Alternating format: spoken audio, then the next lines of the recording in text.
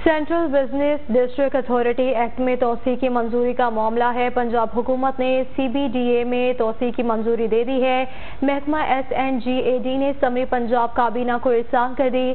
Summary में कहा गया है कि लाहौर के अलावा बड़े शहरों में भी सेंट्रल बिज़नेस हब बनाने की ज़रूरत है।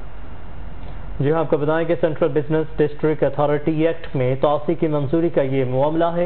पंजाब हुकूमत ने सी बी डी ए में तोसी की मंजूरी दे दी है। महकमा S N G A D ने समरी पंजाब काबीना को अरसाल कर दी है। समरी में कहा गया है कि लाहौर के अलावा बड़े शहरों में भी सेंट्रल बिज़नेस हब बनाने की ज़रूरत है।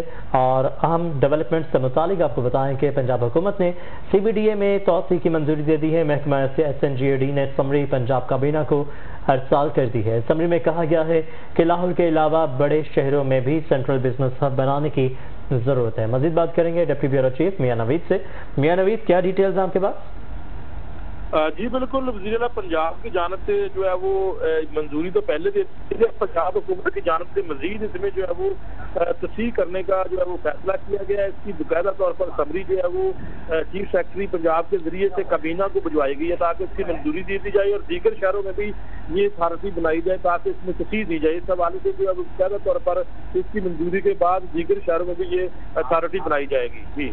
ठीक है, बहुत शुक्रिया तफसीलात से आगाह करने के लिए। लाहौर को